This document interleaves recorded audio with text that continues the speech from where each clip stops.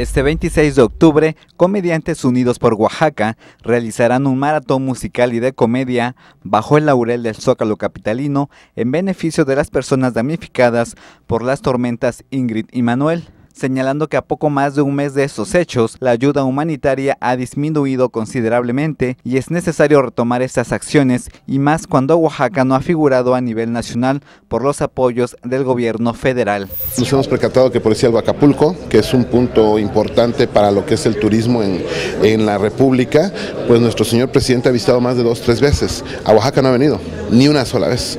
Entonces, parte de esa inquietud de nosotros es también que por medio de nuestro evento fluya la, ayuda de, los comediantes oaxaqueños hacia, hacia nuestros hermanos oaxaqueños. Pareciera que Oaxaca no, este, pues no, no encaja dentro de los planes. ¿no?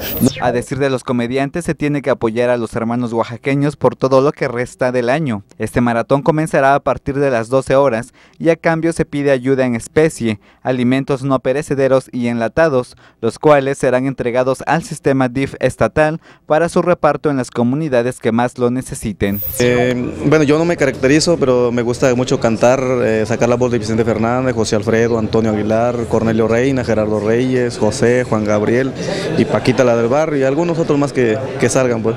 Y eso es el, para que así le invitamos a toda la gente para que nos acompañe ese día el 26 a partir de las 12 a 8 de la noche. Con imágenes de Armando Guzmán, informó para MBM Televisión Celestino Chacón.